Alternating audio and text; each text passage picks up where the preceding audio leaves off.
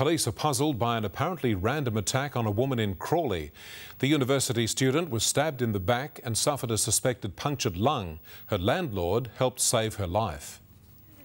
It was random and unprovoked. Tara Rashnavati stabbed in the street at the front of her home. Bleeding badly, she somehow managed to make it through a car park to get help from her landlord. She was shocked. She was very pale. She thought she was going to die. Paul Spargo drove the UWA computer engineering student to hospital. He says she was drifting in and out of consciousness. She was completely puzzled as why this would happen to her.